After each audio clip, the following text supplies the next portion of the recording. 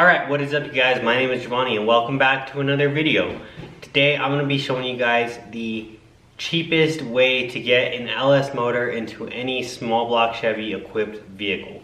This video is a tag on to my original how to LS swap basics video which can be found in the link below. This video is just a tag on to talk about motor mounts and uh, different styles and whatnot to that video.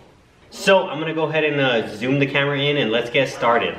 So what I have for you guys here is probably the cheapest, most affordable solution in order to drop an LS into basically any GM vehicle that ever had an option for a small block Chevy or even big block Chevy, I believe.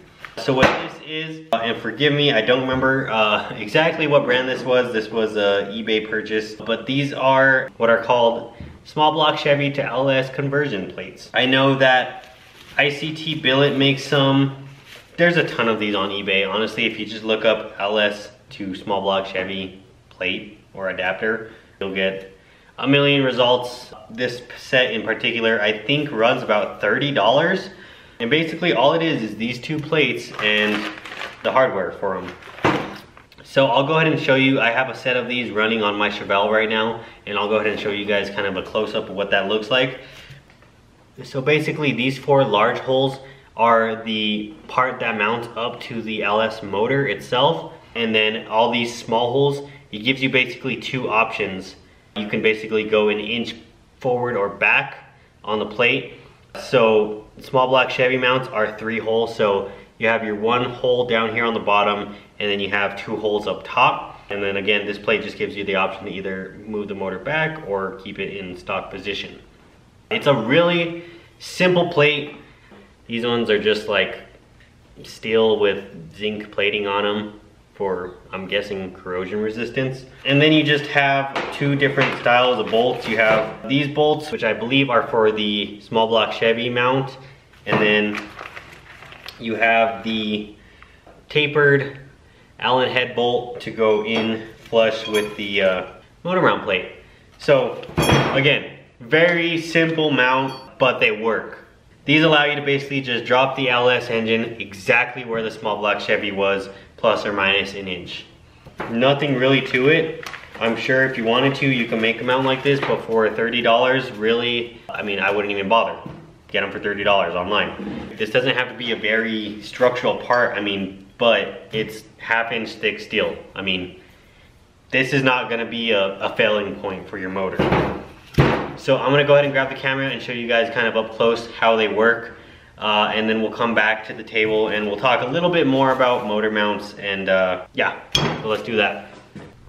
All right, I'm gonna try my best to show you guys just real quickly. It's a little dark, but I hope you guys can bear with me. So this right here, this is the small block Chevy part. And you can see this gold part, those are the exact same motor mounts that I just showed you guys at the table. But if you guys have a small block motor, you already know what your small block uh, mounts look like. Basically, they're a clamshell style. You just keep pretty much all the parts to the small block Chevy and then they have a bolt that passes through them. And once that's lined up, you pass the bolt through it, bolt it in, and it's pretty much good to go. It's really simple. Uh, you can't really screw it up, and that's why I run these plates. And as you can see, this LS engine sits pretty much exactly where you would want it to. Uh, this is a 65 Chevelle, and you can see um, I have some decent clearance to the firewall. I think if I wanted to, I can scoot the engine back a little bit. Honestly, I like it where it is, right there. So, yeah, I mean, nothing really to it, guys. So yeah, obviously a very simple mount. Really not much to it. Again, this is for a small block Chevy, and I believe big block Chevy to an LS. Obviously, if your car didn't have a small block Chevy or had an option for one, or it's not even a GM vehicle, you're gonna have to just go ahead and search online for a mount for you, or you're gonna have to custom fabricate it. If this is your first swap, uh, hopefully it is a GM vehicle because that will make your life a lot easier, or hopefully it's a vehicle that's been swapped many times before. But, you know, if you have to fabricate something, it's not too big of a deal and what makes it really simple is the fact that the LS has this four bolt pattern. Basically make a plate with four bolts in it and that lines up with the motor and mount that to the frame somehow. There are some universal kits. I'll go ahead and show you guys a picture of one right now. These basically take a mount like this and they come with a frame mount that you basically weld in wherever you choose. Those actually work really well as well, as long as your frame is square and you can find some good use in those.